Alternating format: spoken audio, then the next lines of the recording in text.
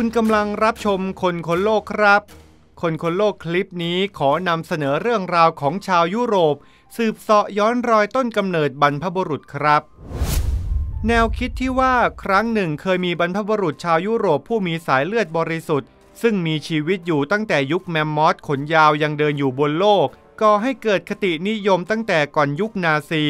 แนวคิดนี้หล่อเลี้ยงการเหยียดเชื้อชาติของชนผิวขาวและเมื่อไม่กี่ปีที่ผ่านมา ได้โหมกระพือให้ผู้คนหวาดกลัวผลกระทบจากผู้อพยพ ปัจจุบันนักวิทยาศาสตร์กำลังเผยคำตอบใหม่ๆ ของคำถามที่ว่า แท้จริงแล้วชาวยุโรปเป็นใครและมาจากไหนกันแน่ การค้นพบของพวกเขาระบุว่า ทวีปนี้เป็นเบ้าหลอมทางวัฒนธรรมมาตั้งแต่สมัยน้ำแข็ง ชาวยุโรปในปัจจุบันไม่ว่าจะอยู่ในประเทศไหน ล้วนแล้วแต่เป็นลูกผสมของสายเลือดโบราณจากแอฟริกา ตะวันออกกลาง และทุ่งหญ้าสเตปในรัสเซีย โดยมีหลักฐานจากโบราณวัตถุ ผลการวิเคราะห์ฟันกับกระดูกโบราณ และภาษาศาสตร์ แต่เนื้อสิ่งอื่นใดคือหลักฐานที่ได้จากพันธุศาสตร์บรรพการ ย้อนหลังไป 32 ปี ผลการศึกษา DNA ของมนุษย์ที่ยังมีชีวิตอยู่ ช่วยวางรากฐานให้แนวคิดที่ว่า ผู้คนนอกทวีปแอฟริกาทั้งหมด สืบเชื้อสายจากบรรพบุรุษที่เดินทางออกจากกาฬทวีปเมื่อกว่า 60,000 ปีก่อน และเมื่อราว 45,000 ปีก่อน มนุษย์ยุคใหม่ก็เริ่มเดินทางไปยังยุโรปผ่านตะวันออกกลาง ยุโรปในยุคนั้นเป็นสถานที่ต้องห้าม พืดน้ำแข็งหนาหลายกิโลเมตร ปกคลุมบางส่วนของทวีป ในบริเวณที่อากาศอบอุ่นเพียงพอก็จะมีสัตว์ป่า และยังมีมนุษย์นีแอนเดอร์ทัลซึ่งบรรพบุรุษเดินทางออกจากแอฟริกาในช่วงหลายแสนปีก่อนหน้าเรา และปรับตัวเข้ากับสภาพอากาศอันหนาวเหน็บและทารุณได้ก่อนเราแล้ว ชาวยุโรปยุคใหม่กลุ่มแรกดำรงชีวิตด้วยการเก็บของป่าล่าสัตว์ โดยอาศัยอยู่รวมกันเป็นกลุ่มเล็กๆ และเดินทางเร่ร่อนไปทั่ว พวกเขาเดินลัดเลาะไปตามลำน้ำเลียบแม่น้ำดานูบ ลึกเข้าไปในใจกลางยุโรปตะวันตกและตอนกลาง เป็นเวลาหลายพันปีที่พวกเขาไม่ได้สร้างผลกระทบใด ๆ ต่อโลก DNA ของชาวยุโรปกลุ่มแรกนี้ระบุว่าพวกเขาจับคู่กับมนุษย์นีแอนเดอร์ทันซึ่งต่อมาสูญพันธุ์ไปภายใน 5,000 ปีหลังจากนั้น ปัจจุบันมีชาวยุโรปราวร้อยละ 2 ที่จีโนมมี DNA ของมนุษย์นีแอนเดอร์ทันอยู่ด้วย ขณะที่ยุโรปอยู่ในสมัยน้ำแข็ง มนุษย์สมัยใหม่ก็ตั้งรกรากอยู่ทางใต้ที่ไร้น้ำแข็ง และปรับตัวเข้ากับภูมิอากาศหนาวเย็นได้ ราว 27,000 ปีก่อนมีประชากรมนุษย์กลุ่มนี้อยู่เพียงประมาณ 1,000 คน ซึ่งยังชีพด้วยการล่าสัตว์เลี้ยงลูกด้วยนมขนาดใหญ่ ในถ้ำที่พวกเขาอาศัยอยู่ มนุษย์กลุ่มนั้นวาดและสลักภาพสัตว์ที่ตนล่ามาได้ไว้อย่างน่าดูชม ราว 14,500 ปีก่อนขณะที่ยุโรปเริ่มอบอุ่นขึ้น มนุษย์ก็ติดตามทานน้ำแข็งที่ถอยร่นขึ้นไปทางเหนือ ในช่วงหลายพันปีต่อจากนั้น พวกเขาพัฒนาเครื่องมือหินที่ซับซ้อนมากขึ้น และเริ่มตั้งถิ่นฐานในหมู่บ้านเล็กๆ นักโบราณคดีเรียกยุคนี้ว่า Mesolithic หรือยุคหินกลาง ในทศวรรษ 1960 นักโบราณคดีชาวเซอร์เบียค้นพบหมู่บ้านประมงยุคหินกลางตรงคุ้งของแม่น้ำดานูบ แหล่งโบราณคดีที่เรียกว่าเลเพนสกิเวียนี้ เป็นชุมชนที่มีความซับซ้อนและเป็นบ้านของประชากรมากถึง 100 คน ก่อตั้งขึ้นเมื่อราว 9,000 ปีก่อน กระดูกซึ่งพบที่เลเพนสกิเวียระบุว่า ผู้คนที่นั่นยังชีพด้วยปลา อาหารของพวกเขาร้อยละ 70 เป็นปลาวลาดิมีนอยโควิช ผู้อำนวยการแหล่งโบราณคดีบอกและเสริมว่า พวกเขาอยู่ที่นี่เกือบ 2,000 ปีเห็นจะได้ จนกระทั่งถูกชาวไร่ชาวนาเข้ามาไล่ที่ครับ ที่ราบคอนยาในอนาโตเลียตอนกลาง เป็นอู่ข้าวอู่น้ำของตุรกีสมัยใหม่ ดักลาส เบรดนักโบราณคดีบอกว่าที่นั่นเป็นบ้านของชาวไร่ชาวนามาตั้งแต่วันแรก ๆ ที่เกษตรกรรมถือกำเนิดขึ้น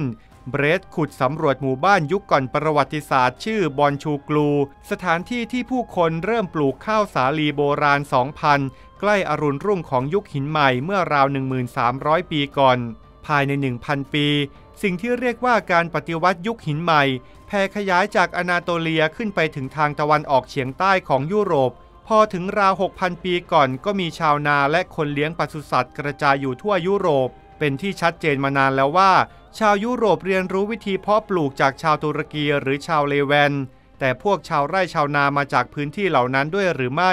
เป็นเวลาหลายสิบปีที่นักโบราณในคดีคิดกันว่า นวัตกรรมใหม่ที่มาเป็นชุดเข้าสู่ทวีปยุโรป ผ่านการค้าขายแลกเปลี่ยนและการบอกปากต่อปาก ไม่ใช่ผ่านทางผู้อพยพ ทว่าหลักฐานทาง DNA จากบอลชูกลู ช่วยให้เห็นว่าการอพยพย้ายถิ่นมีส่วนมากกว่าที่คิด ชาวไร่ชาวนาในบอลชูกลู เก็บศพผู้วายชนไว้ใกล้ตัว โดยฝังในท่านอนคุดคู้เหมือนทารกไว้ใต้พื้นบ้าน นับจากต้นปี 2014 เบรดทยอยส่งตัวอย่าง DNA ที่สกัดได้จากชิ้นส่วนกะโหลกและฟันจากร่างกว่า 10 ร่าง ไปยังห้องปฏิบัติการ DNA หลายแห่ง DNA ที่สกัดได้จากร่างที่ขุดพบตรงกับชาวไร่ที่มีชีวิตอยู่ และเสียชีวิตลงเมื่อหลายร้อยปีให้หลัง และอาศัยอยู่ห่างไปหลายร้อยกิโลเมตร ทางตะวันตกเฉียงเหนือ นั่นหมายความว่า ชาวนาอนาโตเลียอพยพ และแพร่กระจายยีนของพวกเขา เช่นเดียวกับที่เผยแพร่วิถีชีวิต เมื่อราว 5,400 ปีก่อนทั่วทั้งยุโรป กลุ่มชุมชนยุคหินใหม่ที่เคยเฟื่องฟู เริ่มหดตัวลง หรือไม่ก็สูญหายไปพร้อมๆกัน การถดถอยนี้ทำให้นักโบราณในคดีงุนงงอยู่หลายทศวรรษ หลังช่องว่างนาน 500 ปี ประชากรก็เริ่มฟื้นตัวและเพิ่มขึ้นอีกครั้ง แต่บางอย่างแตกต่างออกไปอย่างเห็นได้ชัด ในแถบตะวันออกเฉียงใต้ของยุโรป หมู่บ้านและสุสานที่ฝังทุกคนรวมกันตามแบบยุคหินใหม่ ถูกแทนที่ด้วยเนินหลุมศพขนาดใหญ่โตของชายชะกันหนึ่งเนินต่อหนึ่งคน ไกลขึ้นไปทางเหนือจากรัสเซียถึงแม่น้ำไร้ วัฒนธรรมใหม่ปรากฏขึ้นเรียกว่า วัฒนธรรมเครื่องปั้นดินเผาลายเชือกทาบ พิพิธภัณฑ์รัฐยุคก่อนประวัติศาสตร์ในเมืองฮันเลอร์ประเทศเยอรมนี มีหลุมศพที่ตกแต่งด้วยเครื่องปั้นดินเผาลายเชือกทาบอยู่หลายสิบแห่ง โดยมีหลายแห่งที่นักโบราณในคดีรีบเก็บกู้ศิลปะวัตถุขึ้นมา ก่อนคนงานจะเริ่มลงมือก่อสร้าง หลุมศพของกลุ่มชนที่คิดค้นเครื่องปั้นดินเผาลายเชือกทาบ มีเอกลักษณ์ชัดเจนเสียจนนักโบราณในคดีแทบจะไม่ต้องใช้การหาอายุจากคาร์บอนกัมมันตรังสี ตามปกติแล้วผู้ชายจะถูกฝังในท่านอนตะแคงขวา ส่วนผู้หญิงนอนตะแคงซ้าย ขาทั้งสองข้างงอเข่าขึ้นถึงอก ใบหน้าหันไปทางทิศใต้ นักวิจัยคาดว่ากลุ่มชนที่คิดค้นเครื่องปั้นดินเผาลายเชือกทาบ น่าจะมีเชื้อสายใกล้ชิดกับชาวนายุคหินใหม่ ทว่า DNA ของคนเหล่านี้ กลับมียีนที่แตกต่างและเป็นของใหม่สำหรับยุโรปในยุคนั้น แต่ยังคงตรวจพบได้ในปัจจุบันในกลุ่มประชากรยุคใหม่ของยุโรป ใกล้เมืองจาบันในเซอร์เบีย ปีออโวดาชัก นักโบราณในคดีชาวโปแลนด์และเพื่อนร่วมงาน ขับรถกระบะไปยังเนินดินที่ก่อขึ้นเมื่อ 4,700 ปีก่อน บนที่ราบขนาบแม่น้ำดานูบเนินดินลักษณะเดียวกับเนินแห่งนี้ ซึ่งสูง 3 เมตร และกว้าง 30 เมตร เป็นภูมิลักษณ์หนึ่งเดียวในบริเวณนั้น เมื่อยืนอยู่บนเนินเขายกผ้าใบออก เผยให้เห็นสิ่งที่อยู่ด้านล่าง นั่นคือคูหาสี่เหลี่ยมผืนผ้าที่มีโครงกระดูกของหัวหน้าเผ่านอนหงายหลังและงอเข่าพิธีฝังศพเปลี่ยนไปในช่วงราว 2,800 ปีก่อนคริสตกาลครับ โวดาชักบอกขณะคุกเข่าอยู่เหนือโครงกระดูก ผู้คนก่อเนินดินเหล่านี้ให้มีขนาดใหญ่เพื่อตอกย้ำเอกลักษณ์ของแต่ละบุคคล เน้นบทบาทของผู้ชายและอาวุธ นั่นเป็นเรื่องใหม่ในยุโรปครับ อย่างไรก็ตามธรรมเนียมนี้ไม่ใช่เรื่องใหม่ในพื้นที่ที่ห่างออกไป 1,300 กิโลเมตรทางตะวันออก พื้นที่ที่ปัจจุบันเป็นทุ่งหญ้าสเตปทางตอนใต้ของรัสเซีย และทางตะวันออกของยูเครน กลุ่มชนเร่ร่อนชื่อยามนายา ซึ่งเป็นชนกลุ่มแรก ๆ ของโลกที่เริ่มขี่ม้า คิดค้นล้อขึ้น พวกเขาสร้างชุมชนถาวรขึ้นน้อยแห่ง แต่ฝังบรรดาชายผู้มีตำแหน่งสำคัญสำคัญพร้อมเครื่องประดับตกแต่งสำริดและเงินไว้ในหลุมศพขนาดใหญ่ ที่ยังพบได้ทั่วทุ่งหญ้าสเตปการขุดค้นทางโบราณในคดีเผยว่าพอถึงช่วง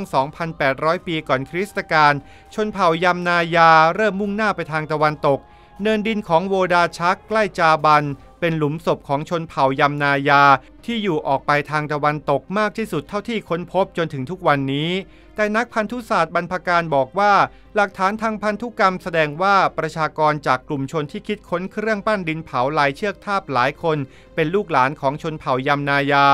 อาจพูดได้ว่าชาวยุโรปทั้งหมดในทุกวันนี้เป็นเชื้อชาติผสม สูตรปรุงพันธุกรรมสำหรับชาวยุโรปทั่วไปคนหนึ่ง มีชาวไร่ยำนายา และชาวไร่อนาโตเลียส่วนหนึ่ง กับส่วนเล็กๆ จากชนเผ่าเก็บของป่าล่าสัตว์จากแอฟริกาอีกส่วนหนึ่ง นี่คือเรื่องราวที่นำมาฝากกันในคลิปนี้ ขอบคุณเรื่องราวจากแอนดรูเคอรีและขอบคุณข้อมูลจากเว็บไซต์ ngthai.com อย่าลืมกดไลค์ กดติดตามและกดแจ้งเตือน เพื่อไม่พลาดสาระคดีดี ๆ แบบนี้ครับ